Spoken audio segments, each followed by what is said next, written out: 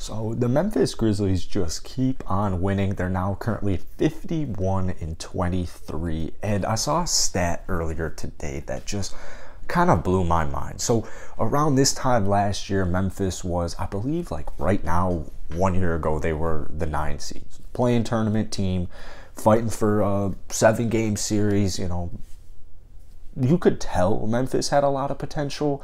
I don't think a single person could have predicted how dominant they they would be this year. I mean, it has been absolute dominance. They're top five defense. They're top five offense. Top five in you know rebounding, offensive rebounding, assists, steals. Like they are so talented. But I saw this this stat that blew my mind. And the stat is the Memphis Grizzlies have played zero games so far this season with a player above the age of 28. That is mind boggling to me. So, Memphis's average age is 24 years old. 24 years old. If they were to go on to win the title, that would tie for the youngest team to win it all ever. And, you know, to add to add on to that, to add on to the fact that they have not relied on a single veteran that every that every team needs to have if you want to make a finals run. No veteran. 28 years old is the oldest anybody on the Grizzlies has played a game for him this season. What's even crazier is I can count on my right hand or left hand how many games the Memphis Grizzlies have lost this season without Ja Morant playing. And the craziest part is I would need about what would I need? Like four hands to count how many games they've played. Memphis is, I forget the exact stat. It's like 16 and 3, 15 and 3, something like that without Ja Morant. Truly dominant. Truly dominant. But if I go up to a normal basketball fan, I'm like, what are your thoughts on Tyus Jones and Anthony Melton and Desmond Bane? They're like, I don't have any thoughts for it. Well, Desmond Bane flashed his greatness, all the potential he has last night. Before we get into it, if you guys enjoy this video, hit the like button, hit that sub button. Let's try and hit 133 likes for the Memphis Grizzlies win last night. Subscribe for Grizzlies content, NBA content. Desmond Bane last night in just 24 minutes scored 30 points, 5 rebounds, 5 assists, a block, shot 12 of 15 from the field, was it five to seven from downtown, only got to the free throw line for one free throw attempt and had a plus 40.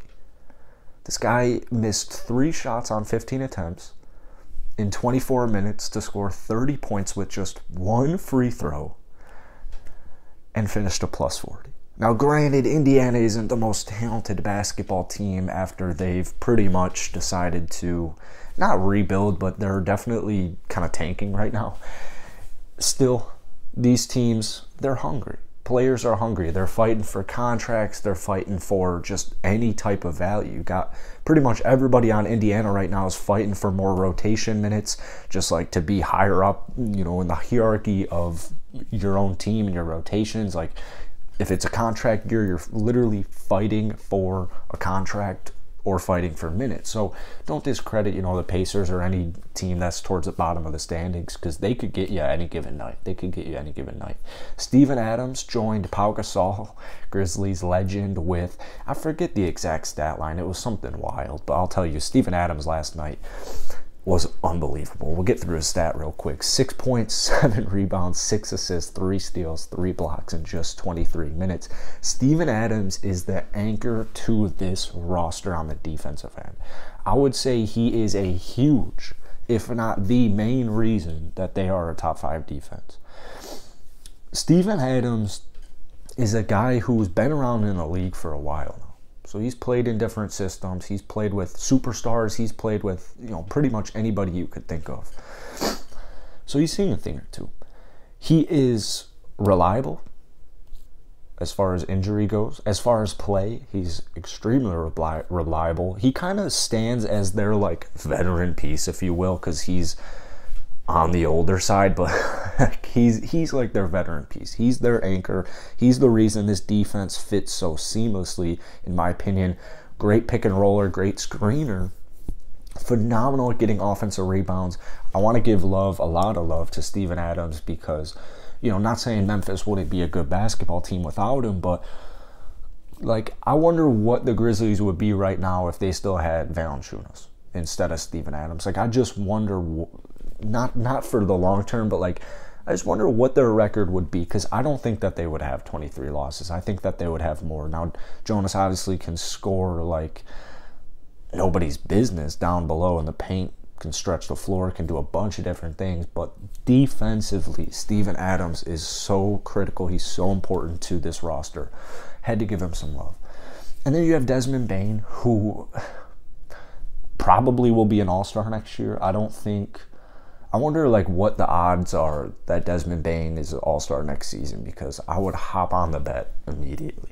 Like he will be an all star next season, actually. I think I'm just gonna turn it into a statement outside of Desmond, actually, you know what? Desmond kind of fits in perfectly with Tyus and Anthony Melton, which is kind of a huge overarching story to the Grizzlies this season. Is yes, they're so young, average age of 24, but you have these guys like Tyus, Anthony, who are young, but they've been in the league for a little bit.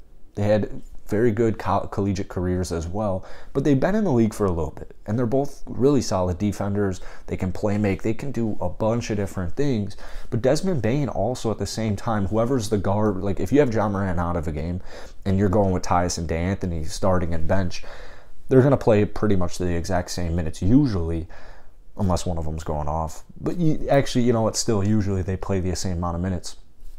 So Desmond Bane, like as we saw last night 30 points i mean he just kind of like he has improved so much as a playmaker and as a ball handler this season like he has improved he's improving like on a game to game basis all these reps they're adding up they're adding up and come playoff time as i've made videos about i'm looking at two guys specifically triple j who last night 20 points in just 17 minutes that's exactly the confidence and where i want to see triple j heading into the playoffs same thing goes with bane I mean, those two combined for 50 points and they played 24 plus 17, 41 minutes. 50 points in 41 minutes, and that's your two and three option. That's exactly what can get this team to the finals, to win the finals, to just go as far as they possibly can, is if Triple J and Desmond Bane are balling their asses off. And then obviously defensively, like Jaren has looked like one of the best bigs at various times on the defensive end throughout the season. Like there are times I've seen him get compared, you know, in various games, in various, uh, you know, like quarters or why can't I just literally think of the word? I'm not even going to try. Basically, Rudy Gobert or Triple J has been compared to Rudy Gobert multiple times this season. Whether it's for a play, whether it's for two plays or a stretch of plays or a quarter or a game, I've seen comparisons with it. This team is very fun to watch. Um, next man up, and the next man up is always just some young gem that works his ass off, and that's why the Memphis Grizzlies are so good. They're fifth in pace, and they're just running up and down the court. They're playing as hard as they can on both ends of the floor, and obviously it's working out really well. Shout out to the coach as well, uh, coach of the year. That's it for today. Hit the like button, hit that sub button, and uh, drop some comments down below. Where does Memphis finish? at the end of the playoffs? How does their season end?